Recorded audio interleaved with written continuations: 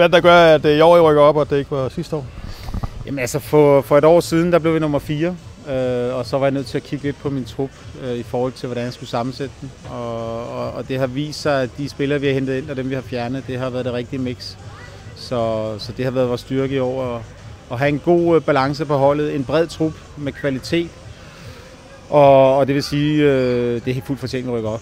Øh, man kan sige, kampen i dag, det var en lidt svær kamp mod en svær modstander, og, og vi gjorde, hvad vi kunne. Vi går stadigvæk rundt lidt med armene oppe, og det kunne man godt se lidt på vores spil i dag. Som træner, hvad skal der så ske i den kommende tid nu? Ja, men altså nu, nu har spillerne ferie. Øh, vi træner, og, og vores sportschef og min formand, vi skal sætte os ned, vi skal kigge på, hvordan vi kan optimere tingene. Altså, Øh, jeg hader at, at, at gå på ferie, og der ikke sker noget, så, så der kommer en masse nye tiltag. Øh, vi er i dialog med nye spillere. Der er allerede en spiller, der er kommet. Øh, vi skal nok supplere op med en to-tre spillere, der har niveau til første division.